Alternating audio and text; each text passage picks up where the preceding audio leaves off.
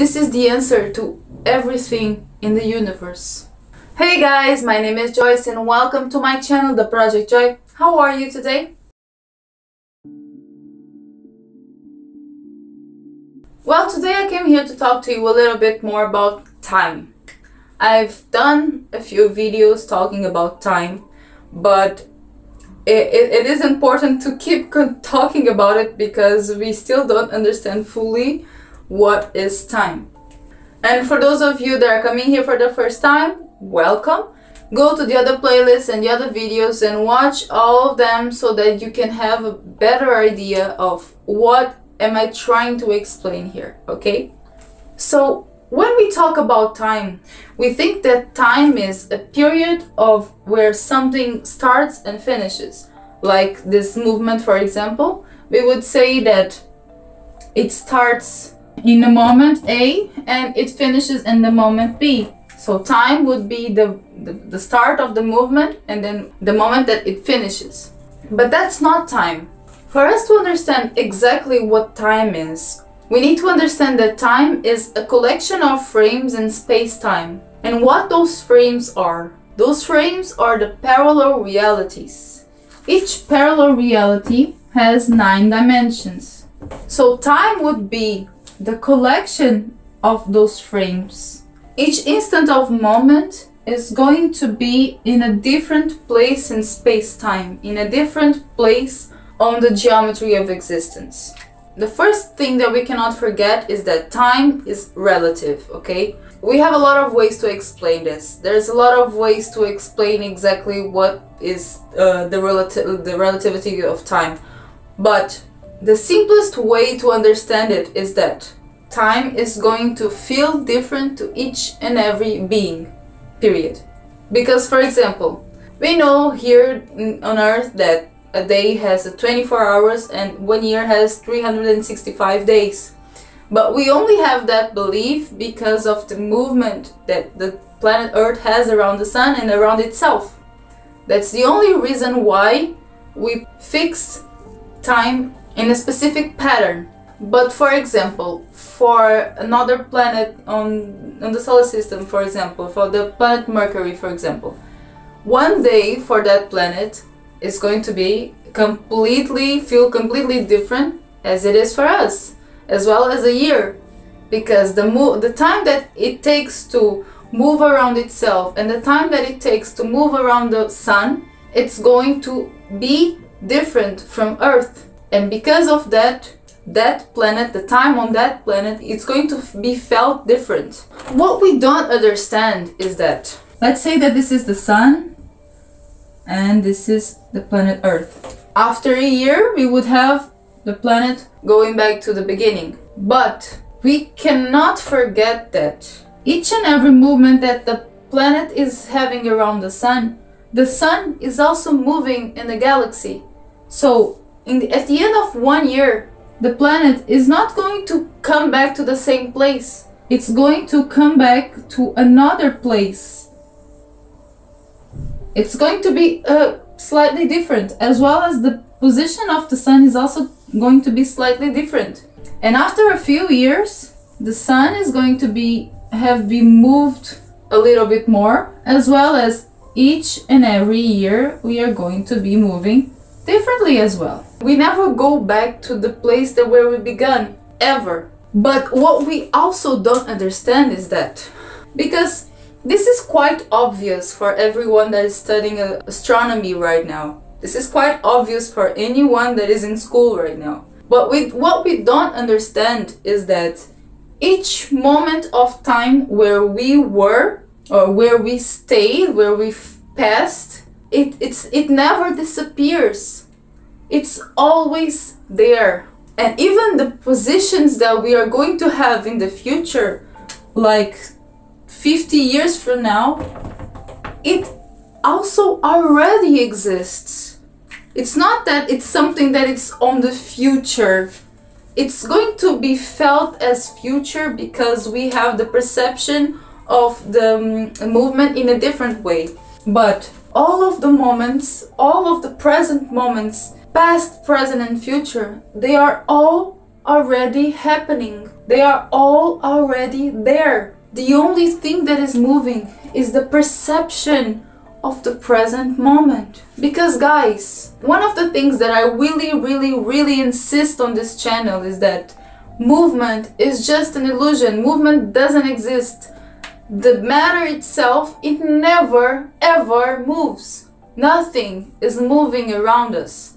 The only thing that is moving is our perception, is the consciousness, is the energy. The only thing that is moving is the energy, the perception of the present moment. We only live the present moment and all of the other things that you lived in the past and all the things that you are going to live in the future, the bodies that you had in the past and the bodies that you will have in the future, they already exist. And it's not something that it's imagined. It's something that it's physically there already. The only thing that is not there is our consciousness is our perception of the present moment. That's the only thing that's the only thing that is going to give us the perception of time. But it's just like everything is just frames you know? All those frames of realities all of them they already exist, they are already there. If we could see everything that is actually around us, if we could see our solar system as it really, really is, that's what we would see. We would see a lot of planets over each other and a lot of suns and a lot of other planets in our solar system in another different parallel realities because if we could see everything that is actually happening that's what we would see. But we only see a present moment. We only see a perception of a moment. So, what is time?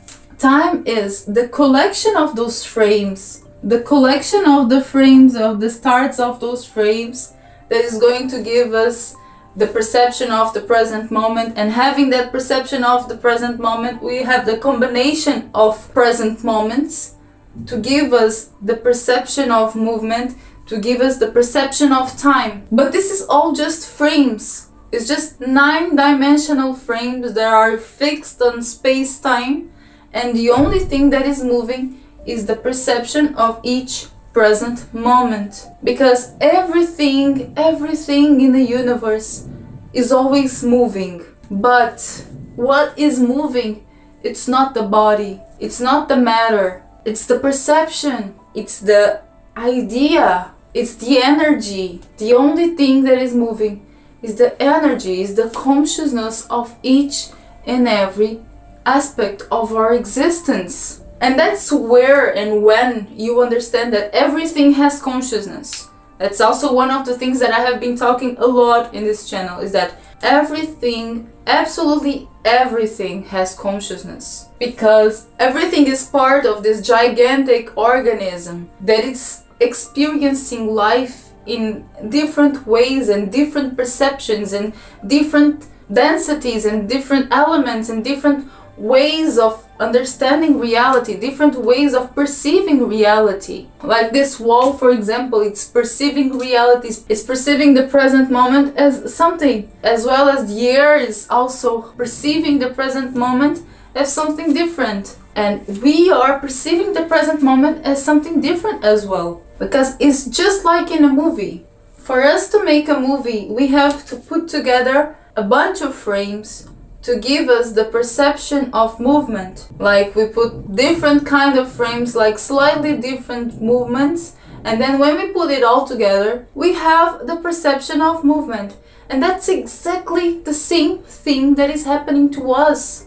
It's exactly the same thing that is happening in the universe. It's just nine dimensional frames. Why do you think that the universe is so big? Because everything that you think it's possible it's happening. Everything that you think it's impossible to happen, it's also happening. All the futures and all the pasts, they are all happening, and all the presents are also happening because even though you're having a specific timeline, you're living a specific situation in your life, there are other realities where you are living in this world, in this planet, and this century, but you're having a different life because you made different decisions. And because you made different decisions, your timeline changed. And that's for everything around us. Each and every decision that we make, we create our reality. We create our next reality. And together, we are going to have a collective memory of what we are actually living. But each and every person is like a cell of an organ, and that organ is another cell of another organ, but it's all happening one side of each other. But that to say that time is not what we think it is. That time is the perception of the frames of the realities that we are living. It's just a perception, but it's also the only thing that proves our existence. Because, like I said on, on the videos of the dimensions, uh, on the fourth dimension we have time. Because first we have the expression, right? On the third dimension we have the expression. And then on the fourth dimension we have the experience of the expression. So time is just the possibility of experiencing something that we are expressing. What would we be if we couldn't experience our expression? It would be just an idea. We would all be just an idea, just a thought. But we are not. We have time to make us feel like we are actually living. Time is only here to make us have this perception of reality, to have us the illusion of reality. But it's just an experience of the expression. And it can change depending on what you create because we are living in all of them at the same time. We are having living all these parallel realities in the past the present and the future and all the other timelines. We are all living that all of them at the same time. But here on the third dimension we experience just frame by frame. We experience just a present moment after present moment because we are still very limited. But once we understand how this is working, how time is actually existing, then we understand everything else. We understand what happens after death. We understand why we think. We understand why we dream. We understand why we get sick. We understand how we get healthy. We understand absolutely everything from where we came from and what we are doing and where we are going. This is the answer to everything in the universe.